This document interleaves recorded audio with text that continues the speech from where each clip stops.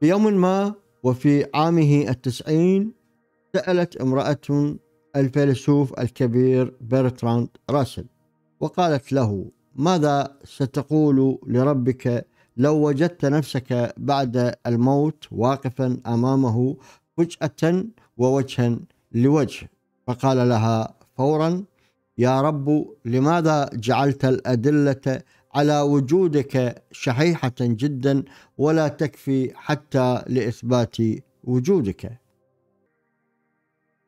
أهلا بكم أصدقائي وحلقة جديدة من الله بعيون الفلاسفة. وفي هذه الحلقة سأعرض لحجج راسل التي تؤكد عدم وجود الله أو عدم وجود أي أدلة على وجوده. وأثبت فيها بأن جميع الحجج على وجود الله قاصرة بل أنها تؤكد أننا لا نحتاجه كونوا معي وسنناقش كل هذه القضايا التي آه، آه، ردها آه، الفيلسوف الكبير برتراند راسل Why are you not a Christian? Because I see no evidence whatever for any of the Christian dogmas. I've examined all the stock arguments in favour of the existence of God, and none of them seem to me to be logically valid. Do you think there's a practical reason for having um, a religious belief for, for many people? Well, there can't be a practical reason for believing what isn't true. Uh, that's quite, uh, at least I rule it out as impossible. Either the thing is true or it isn't. If it is true, you should believe it, and if it isn't, you shouldn't. And uh, if you can't find out whether it's true or whether it isn't, you should suspend judgment. But you can't, uh, it seems to me, a fundamental uh, dishonesty and a fundamental treachery to intellectual integrity to hold a belief because you think it's useful and not because you think it's true. Well, of course, as a Christian, when did you first decide that you did not want to remain a believer in the Christian ethic? I never decided that I didn't want to remain a believer. I decided between the ages of 15 and 18, I spent almost all my spare time thinking about Christian dogmas and trying to find out whether there was any reason to believe them. And by the time I was 18, I discarded the last of them. Do you think, do you think that that gave you an extra strength in your life? I don't know. No, I shouldn't have said so. Neither, neither extra strength nor the opposite. I mean, I was just uh, engaged in the pursuit of knowledge. You see, one thing is I can live with doubt and uncertainty and not knowing.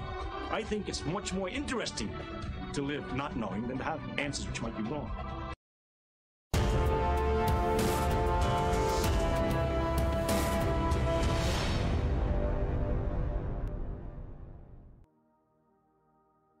هل الله موجود؟ هذا السؤال كان وما زال يشغل بال الملايين منذ قديم الزمان.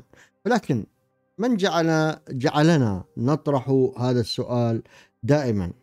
حين يحكي أحدنا قصة ما عن الغول فنحن بالتأكيد لن نصدق به. إنه يروي روايات خيالية في جميع الأحوال لأننا آه، لا آه، لم نرى شيئا من هذا النوع على الإطلاق في حياتنا ولا سمعنا به. لكننا لن نتخلص في كل حال من الأحوال من صورته التي رسمها لنا هذا الراوي آه، في ذهننا مهما حاولنا.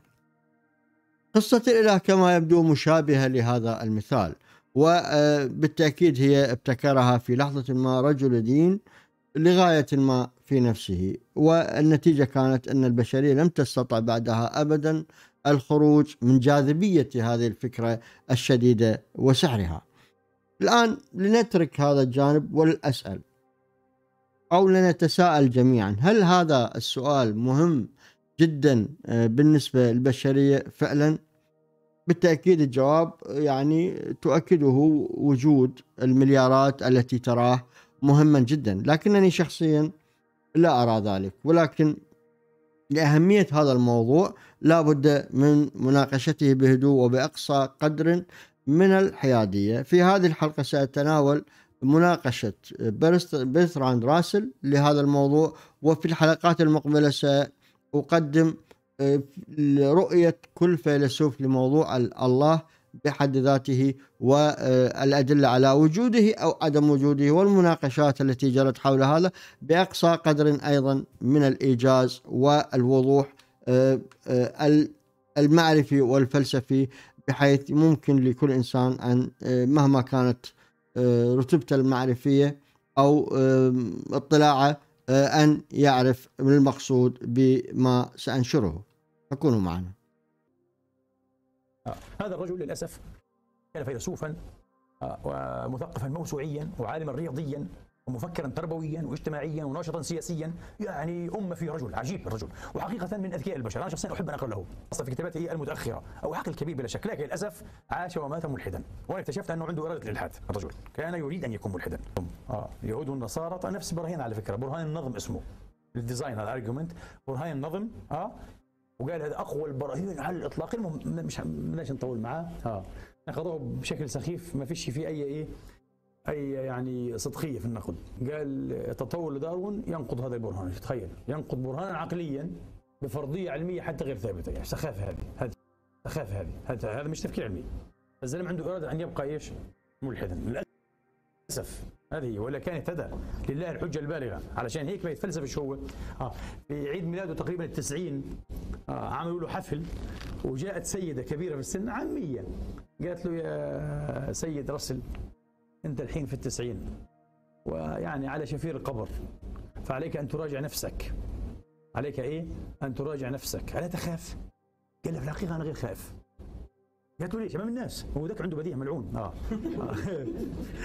قال لي لا اخاف حتى لو افترضنا أنه موجود عن الله سبحانه وتعالى آه أنا سوف إيه أجادله كما يجادلني. ويقول لي لماذا لم تؤمن بي؟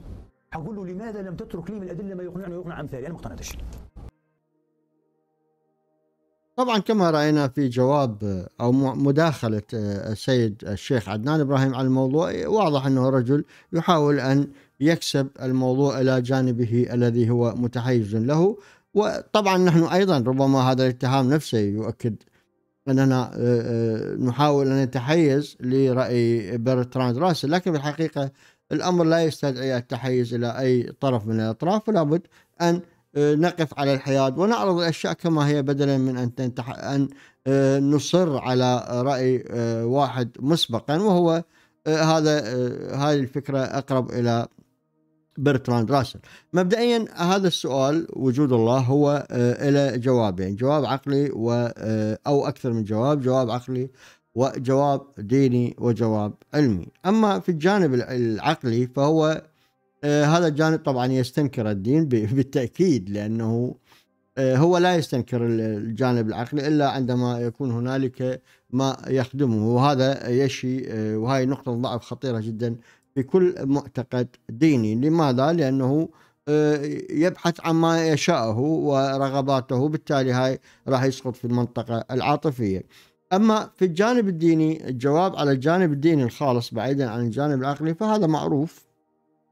وبدليل وجود الأديان كلها التي تعتقد بوجود اله ما آه، يتعبده الجميع أو يجب أن يتعبده الجميع وهاي اللي يجب آه، آه، تشي بهنا بوجود فائدة ما من الموضوع. وهذا كله بالتالي يؤكد أو يجعل الجميع يؤكدون أن الله موجود أو الإله موجود في بصيغ متعددة. وهذا يوضح بأن المسألة لا تتعلق بما يراه الله أو ما يحتاجه الله إنما بما آه، بمن يقنع الناس بوجود هذا الإله ويفرض هذا الأمر على الجميع.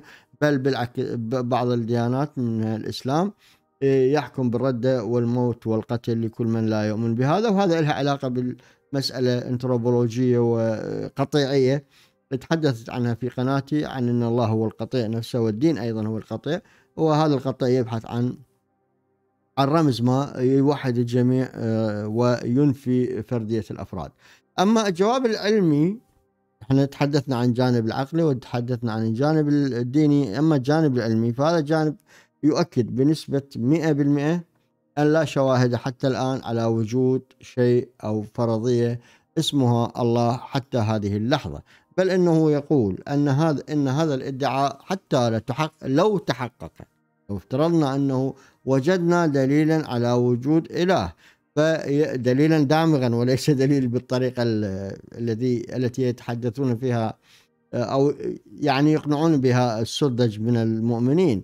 فحتى لو افترض هذا افترضنا وجود هذا الإله أو اكتشفنا أدلة على وجوده فإن هذا الدليل يجب أن يكون قابلا للتكذيب لأن العلم لا يطلق احكاما آه، قطعية.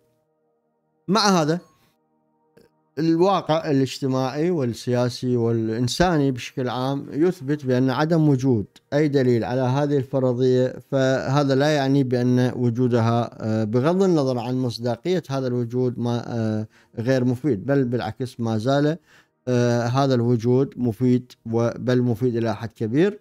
هو اللي يوحد الناس في مع مع بعضهم البعض ويقنعهم بأن هذا الإله هو يمنحهم معنى لحياتهم ولكل ما يفعلونه وأيضا يقنعهم بأن ما يفعلونه ويؤمنون به والأحكام التي يطلقونها لديها شرعية كافية لأن يفعلوا ما يشاءون وهذا آه، أيضا فيه جانب خطر نعرف بعض الكثير من الديانات تبرر القتل وترتكب الأفعال الشنيعة بحجة أنها أوامر إلهية وهذا ينفي مسؤولية يعني يقوم الإنسان بعمليات قتل مجانية وبضمير مرتاح وبالحقيقة أنه هذا الضمير هو آه، ضمير سيء لكنه يقول لك أنا عبد المأمور وهذا إله وأنا لا علاقة لي به وهذه يسميها حنا أرندت بتفاهة الشر وهذا موضوع مختلف بعدين نتحدث عنه. في البداية راح أعرض مجادلة راسل آه، برتراند راسل حول هذا الموضوع و آه، آه، أو قدمت هذا العرض إنه عندما سألت هذه الامرأة لماذا أنت ليس مسيحيا؟ وهو عند محاضرة شهيرة في القرن في الثلاثينيات القرن الماضي تقريبا قبل 100 سنة في كان حضور عدد كبير من البرلمانيين أيضا وقال أنه سيلوم الله على عدم توفير أدلة كافية على وجوده وطبعا هذا كما قلنا لن يريح آه، المؤمن. هذا جواب مزعج للمؤمن لأن المؤمن يبحث عن ما يريحه يبحث عن ما يسنده آه، يسند قناعته وبالتالي فالجدال من هذا النوع بين الله وبرتراند راسل جدال لا يرضي ولا يلبي حاجة المؤمن. المؤمن يبحث عن عمن يدعم موقفه. فهذا آه، هو أصلا ربما مؤمن حتى يبحث عن ما يدعم مواقفه ويرتاح نفسيا وجسديا وواقعيا أيضا لكن هذا أيضا في الوقت نفسه هذا الأمر يؤكد رغبة الإنسان الصادقة للمعرفة والتحقق مما يكتشفه أو يقال له عنه. آه، على هذا الأساس راح نشوف إنه راسل حتى يدحض آه، ياكد موقفه راح يقدم أدلة دامغة على أن جميع الحجج على وجود الله هي قاصرة وبشدة. وراح نبدي بأول مثال وهو مثال إبريق راسل. في هذا المثال كما ترون هنالك إبريق شاي اقترح قال أنه حوله أراد يثبت برسالة راسل وجود الله فقال حتى نثبت وجود الله أنا راح أو من عدم وجوده راح أفترض بأن هنالك إبريق شاي كما ترون في الصورة. هنالك هذا الإبريق وهذا الإبريق يدور حول الشمس بين الأرض والمريخ. وبالتالي ويقول أنه هذا الإبريق لا يمكن لأحد أن ينفي وجود هذا الإبريق. لماذا؟ لأن هذا الإبريق لا يمكن رؤيته ولا يستطيع أي كائن أن يراه. لكن آه، لا نستطيع أن ننفي وجوده هو بس هو يقول لك هذا موجود ماذا تفعل معه؟ كيف كيف تنفي ما يقوله؟ لا تستطيع نفي ما يقوله يقول لك هو موجود وأنا واثق بوجوده. فكيف تنفي وجود هذا الإبريق؟ آه، لكن لا تستطيع رده بشكل منطقي وبالنهاية آه، عليك أن تؤمن بوجود هذا الإبريق. وفي مقال من لم ينشر إلا بعد وفاته في مجلة المصور اليوستريتد سنة 1952 راح أترك الرابط مع المقال. كتب راسل تحت عنوان هل هنالك خالق؟ قال إذا أمكنني أن أشير إلى أنه يوجد بين الأرض والمريخ إبريق مصنوع من الخزف الصيني يدور حول الشمس في مدار بيضوي لا يمكن لأحد أن يدحض افتراضي. إذا كنت حريصا على ذكر أن الإبريق أصغر من أن ترى أقوى التلسكوبات الموجودة عندنا. ولكني إذا انتقلت إلى الادعاء بأن افتراضي يتمتع بخاصية أنه لا يمكن إثبات عدم صحته. وبذلك فإنه من غير المقبول لأي عقل بشري متزن أن يشكك في صحته.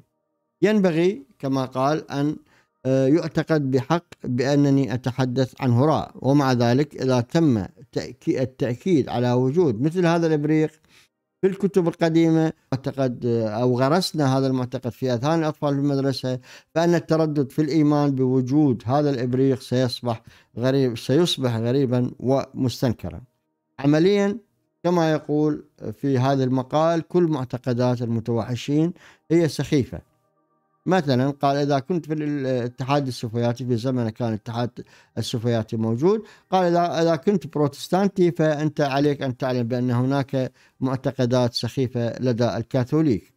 طبعا إحنا كمسلمين إحنا عندما نرى معتقدات الهندوس نعتبرها سخيفة جدا وغبية وخرافية. العكس أيضا صحيح الهندوس يرون معتقداتنا وطوافنا حول الكعبة يرونها مسألة خرافية ويعني لا آه، غير منطقية. وكذلك أيضا حتى على المستوى السياسي كما يقول برتراند راسل قال إذا إحنا كنا إشتراكيين أو يساريين فراح نستغرب من سذاجة الأحزاب المحافظة.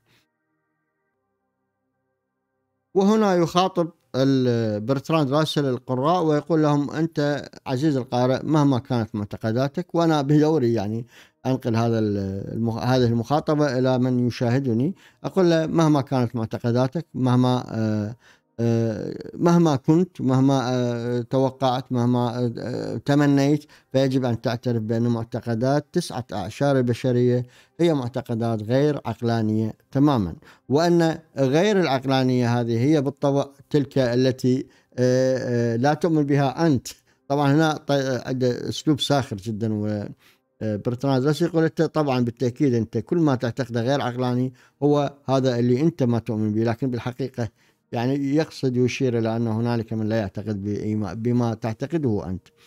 فيختم مقالة آه، يقول بأن استنتاجي بأنه لا يوجد أي سبب مقنع للاعتقاد بأي دين عقائدي. الإنسان له الحرية في تحديد مصيره وكذلك تحمله المسؤولية وكل ما علينا أن نتيح الفرصة له بذلك. وهنا يتحدث برتراند راسل آه، مع القراء ويقول له آه، أنا آه، يا عزيز القارئ أنا لا أعرف ما هي معتقداتك وبدوري أنا أيضا أخاطب من يشاهدون الآن. أسلوب ساخر برتراند راسل دائما. يقول أنه يعني ما يشير بأنه أنت بالتأكيد كل ما لا تراه عقلاني فهو بالتأكيد أنت ترى ما لديك هو العقلاني والعكس صحيح أنه تجد الهندوسي يرى معتقداتك غير منطقية بينما المسلم يرى معتقدات الهندوسيين غير منطقية. ويستنتج في النهاية في نهاية هذا المقال اللي كان عنوانه هل هنالك خالق؟ قال لا يوجد أي سبب مقنع للاعتقاد بأي دين عقائدي. الإنسان له الحرية في تحديد مصيره. وكذلك آه، تحمله المسؤولية وإتاحة الفرصة له بذلك فقط. هذه القضية الأساسية التي يجب أن نحترمها وبعد ذلك فليعتقد الناس ما يعتقدون. والآن سأتحدث عن حجة المسبب الأول. أي الله وبعد ذلك سأتناول حجة قوانين الطبيعة وبعدها حجة المصمم وسأستعرض فيديو عن فيديو لعدنان يرد على هذه الحجة وأيضا مناقشة راسل لرهان باسكال وثم الختام مع مقطع من حوار برتراند راسل مع شخصية لاهوتية كبيرة حول وجود الله. فكونوا معي.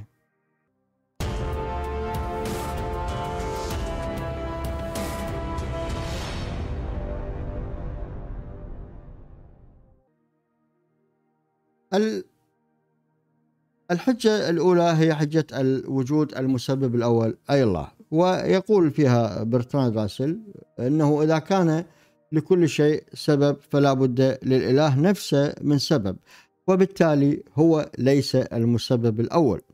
وإن قيل مثلا بناء على فكرة أن كل لكل حادث محدث لكنه لكنه هناك محدثا أو إله واجب الوجود فهذا لا يكفي. يعني عندما إحنا معروف هاي الحجة بأنه لكل حادث محدث والبعرة تدل على البعير لكن عندما نصل إلى وجود الله أو أن الخالق الأول أو المسبب الأول أو المحدث الأول فهذا المحدث الأول لا وجود للمسبب له لأنه لا يمكن أن تتواصل سلسلة الأسباب إلى ما لا نهاية. هذه الحجة الكثيرة. فيقول هذا آه هذا لا يكفي برتراند راسل. لماذا؟ يقول لأنه لنقل مثلا بأن آه مثل ما يقولون بأن ما يقولون خلينا نفترض بأن العالم موجود. ولا يوجد هذا العالم إلا بواجد أي أن هناك عالم أو خلق وهنالك خالق. فإن قلنا أن هذا العالم أو أن هذا فإن قلنا أن الله هو الواجد فمن أوجد الله أو أحدثه؟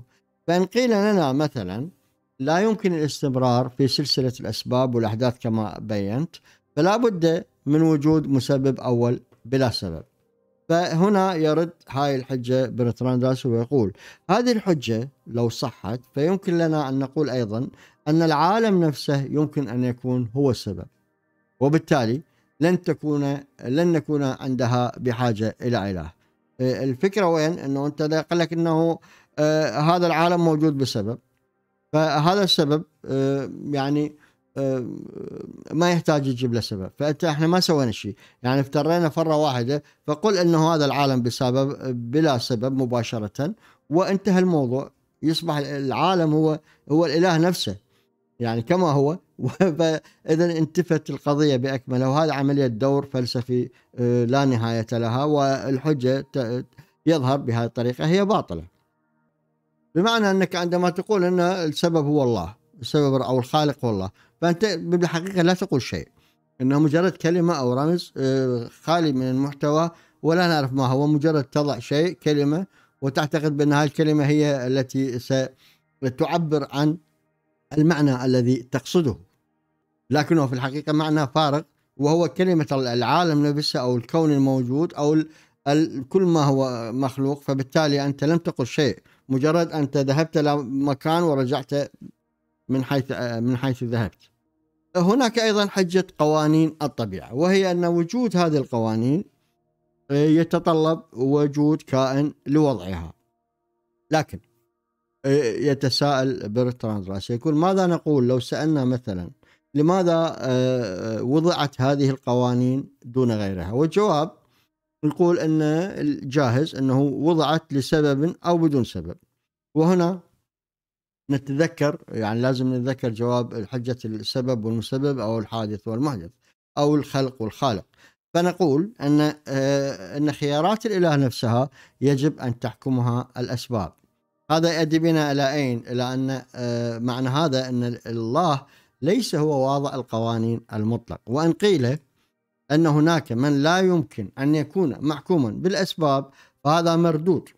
فقد يكون هذا الشيء هو القوانين نفسها. وهنا نعود مرة أخرى لنجد أننا لسنا بحاجة لإله. وهذه آه، إذا تراجعون تدققون في هذه العبارات ستجدون الدليل واضحا. الحجة الثالثة وهي حجة المصمم الشهيرة التي يتعكس عليها كثيرون. وهذه الحجة طبعا عندما آه، راح أتحدث عنها لاحقا في حلقة خاصة عن بيلي لأنه هو صاحب هاي الحجة. وقبل لايبن تز الألماني بالقرن السابع عشر كان من يعني السادس عشر السابع عشر آه، من المنافسين أو من المجايلين لإسحاق نيوتن. هاي الحجة جاء بها هذا بيلي وتقول هاي الحجة بأنه أنه هذا العالم مصمم أو منظم بشكل مثالي. والناس يرون آه، فيه بأن العالم مصمم بشكل خارق ومتناسق ولا يمكن أن يكون هذا الأمر إلا على آه، يد إله ولكن كما يرى برتراند راسل أن العالم والكون بأكمله مرت عليه ما يقارب 14 مليار سنة وما زالت الناس تموت وتعاني. وشبه عليه بشبهة آه في الإلحاد من أخطر ما يكون. أول مرة أنا أقرأ هذه الشبهة. ما سمعتهاش قبل هيك من بشر. قال الرجل هذا. عارف إيش هي؟ طبعا ضد برهان النظم نفسه. لكم اياه وقال هو أقوى برهان بس في عليه ردين قال. رد من داروين والرد الثاني لم أذكره لكم وأنا أذكره. إيش الرد الثاني؟ قال أصلا هذا البرهان كله قائم على إيش؟ على تسليم مفهوم الحكمة أنه في حكمة. الأشياء متعاضدة تعمل كلها إيه؟ إلى غاية. معناها في حكمة اذا في حكيم أوجد هذا الشيء. قال إيه مفهوم الحكمة؟ أنا لا أسلم به. لماذا نسمي هذه الحالة في الكون والأشياء بالحكمة؟ هنا حالة دقيقة ومنظمة أنت عشان تحكم عليها أنها دقيقة ومنظمة وكذا لابد أن يكون عندك إمكان إيش المقارنة وما فيش مقارنة عندك كون واحد يونيفيرس واحد هو هذا وهو مو- موجود هيك وجد هيك إن وجد إن وجد هكذا صحيح؟ فكيف إيش بتسميه أنت؟ خلاص مين حيناقشك؟ ما فيش مجال إيه؟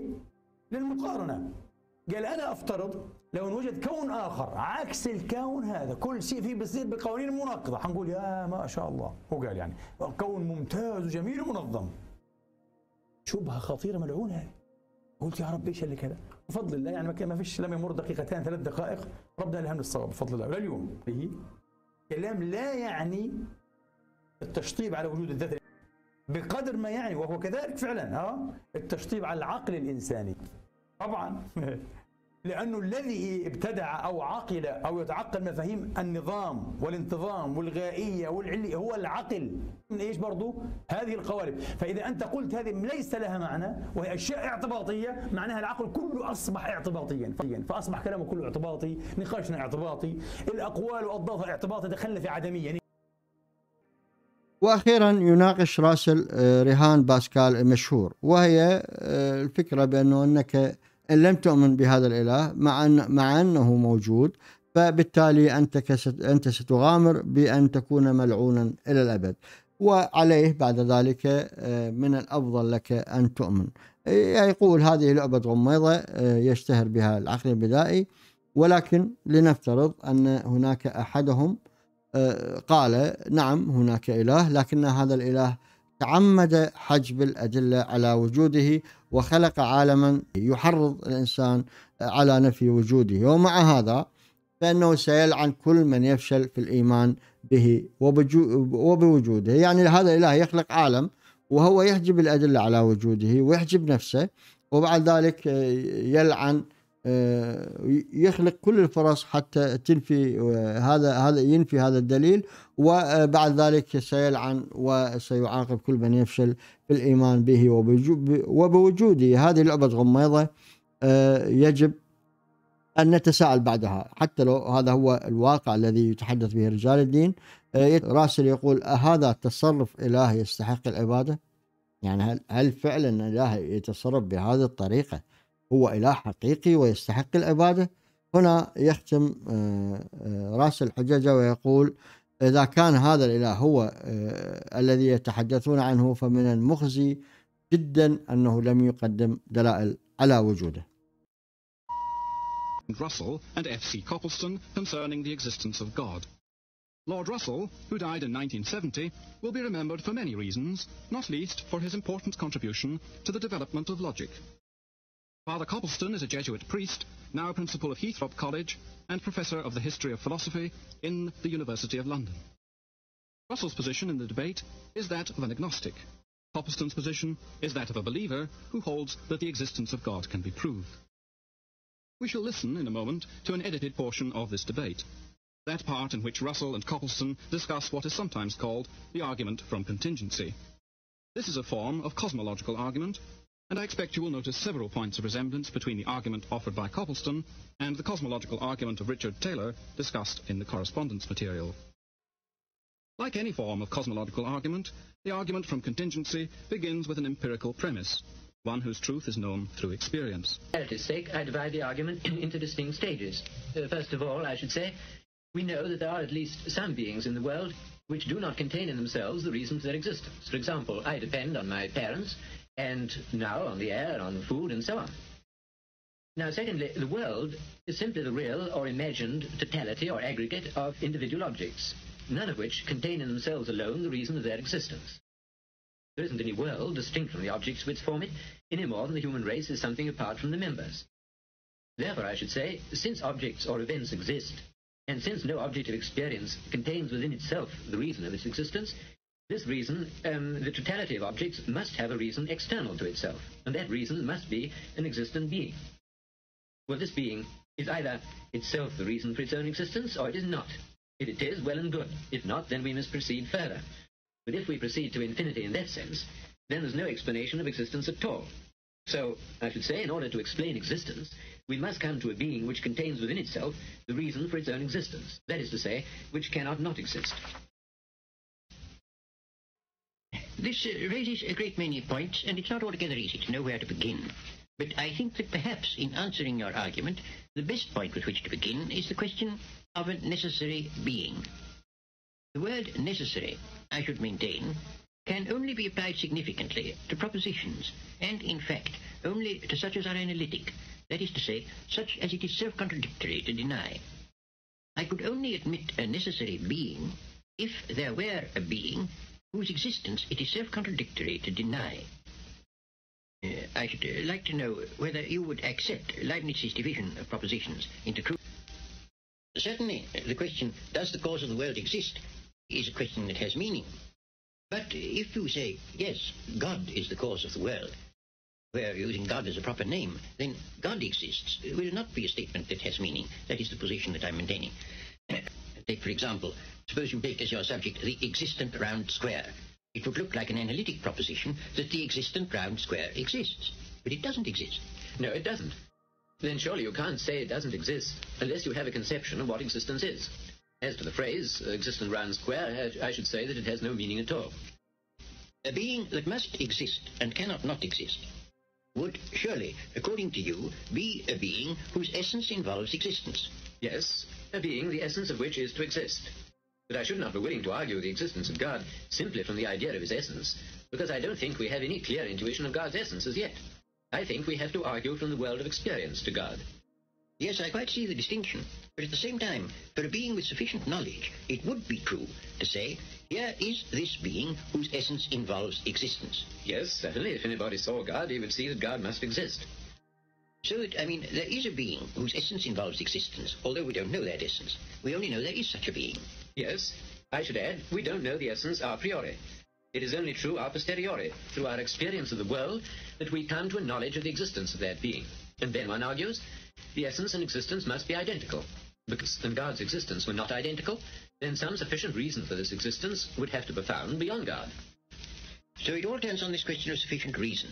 And uh, I must say, you haven't defined sufficient reason in a way that I can understand. What do you mean by sufficient reason? You don't mean cause? Not necessarily. Cause is a kind of sufficient reason. Only contingent being can have a cause. God is his own sufficient reason, but he is not cause of himself. By sufficient reason in the full sense, I mean an explanation adequate for the existence of some particular being. But when is an explanation adequate? Suppose I am about to make a flame with a match. You may say that the adequate explanation of that is that I rub it on the box. Well, for practical purposes, but theoretically that's only a partial explanation. An adequate explanation must ultimately be a total explanation, to which nothing further can be added. Then I can only say you're looking for something which can't be got and which one ought not to expect to get. To say that one has not found it is one thing. To say that one should not look for it seems to me rather dogmatic. What I'm doing is to look for the reason, in this case, the, in this case, the cause of the objects, the real or imaginary existence, if you prefer, or any other, without explanation, intelligible to relations of God. You see, I don't believe that the infinity of the series of events is eligible apart from the existence of God. You see, I don't believe that the infinity of the series of events I mean a horizontal uh, series, so to speak, if such an infinity could be proved, would be in the slightest degree relevant to the situation. If you add up chocolates, you get chocolates after all, and not a sheep. If you add up chocolates to infinity, you presumably get an infinite number of chocolates. So if you add up contingent being to infinity, you still get contingent beings, not a necessary being. An infinite series of contingent beings would be, to my way of thinking, as unable to cause itself as one contingent being. However, you say, I think, that it is illegitimate to raise the question of what will explain the existence of any particular object. It's quite all right if you mean by explaining it simply finding a cause. The cause of the existence of all particular... One that the total has any cause whatsoever. I can illustrate what seems to me to be your fallacy, that the total has any cause in the particular things. I can illustrate what seems to me to be your fallacy. Any cause whatsoever. I can... Well, I can't really see a parity. If I was saying every object has a phenomenal cause, therefore the whole series has a phenomenal cause, there would be a parity. But I'm not saying that. I'm saying every object has a phenomenal cause, if you insist on the infinity of the series, but the series of phenomenal causes is an insufficient explanation of the series. Therefore, the series has not a phenomenal cause, but a transcendent cause. Well, that's always assuming that it's not a phenomenal cause, but a trans is an insufficient... That not only every particular thing in the world, but the world as a whole, must have a cause. For that assumption, I see no ground whatever. You give me a ground, I'll listen to it. Well, the series of events is either caused or it's not caused. If it is caused, there must obviously be a cause outside the series. If it's not caused, then it's sufficient to itself. And if it's sufficient to itself, it is what I call necessary. But it can't be necessary, since each member is contingent. And we've agreed that the total is no reality apart from the members. Therefore, it can't be necessary. For it can't be necessary. And I should like to observe in passing that the statement that the world is simply there and is inexplicable can't be got out of logical analysis. Everywhere. A man may look for gold without assuming that there is gold everywhere. If he finds gold, well and good. If he doesn't, he's had bad luck. The same is true with the physicists look for causes. As for Sartre, I don't profess to know what he means, and I shouldn't like to be thought to interpret him. But for my part, I do think the notion of the world having an explanation is a mistake. I don't see why one should expect it to have. Your general point, then, Lord Russell, is that it's illegitimate even to ask the question of the cause of the world. Yes, that's my position. كما رايتم اصدقائي آه هذا كان هذا مقطع من حوار راسل مع شخصيه لاهوتيه كبيره آه جرت قبل نحو نصف قرن وهذه الشخصيه كانت آه آه تحاول إثبات وجود الله ولديها قناعة بمسألة التصميم الذكي. وبرتراند راسل كما رأيتم هو رد على هذه القضية وأيضا أكد بأن هذه رد معظم الحجج اللي تحدث عنها أني طرقت لها في بدايه الفيديو. وأتمنى أن اكون قدمت لكم صورة وافية عن وجهة نظر برتراند راسل حول موضوع وجود الله. وهو موضوع مهم جدا ليس لأنه له علاقة بالدين وتشريع القوانين الدينية والمعتقدات الدينية والفرائض الدينية وما إلى ذلك إنما لانها لأنه موضوع يتعلق ب تساؤل الإنسان الطبيعي حول وجوده، وجود هذه الحياة، هذا الكون بأكمله، سؤال لا يمكن أن نصل إلى نتيجة له حاسمة لكنه بالتأكيد هو سؤال يشغل بالنا جميعا. أتمنى أكون قدمت لكم مادة مفيدة وآسف بعض المناطق كانت في الفيديو فيها يعني المايك مغلق لكن سأتم سأحاول حذفها لاحقا.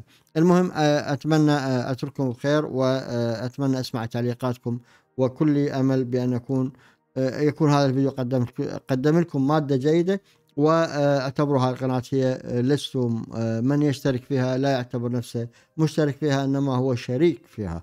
مع السلامة.